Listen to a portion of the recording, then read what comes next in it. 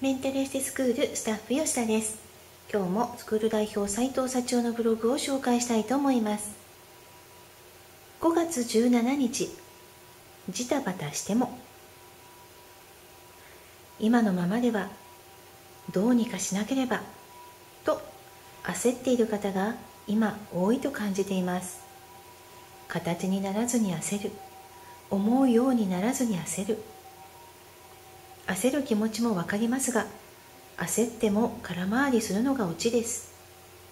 うまくいかない時はうまくいかない理由があるのです。焦ってもがいている今を次に進むための準備の時間と考え自分の心と向き合ったり客観的に状況を見たりしてみましょう。ジタバタしても仕方ない時もあります。タイミングもあるのです。だからこそ焦らずジタバタせず今をしっかり見て今できることをしていきましょう。後になって焦りも経験だったと思いますよ。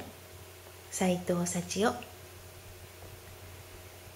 ということでこれ仕事とかで焦る焦ってる人もいると思います、えー、でも焦る気持ちすごいよくわかりますよね。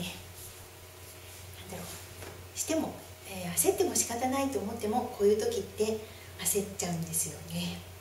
よくわかります、えー、でもなんかあえてそういう焦ってる時ってそのことから一旦離れてみるのも一つの手じゃないのかなっていうふうに思います、えー、私仕事とかであーって煮詰まると、うん、あえて、え銀行に記帳に行ったり、えその空間から、え離れることはあります。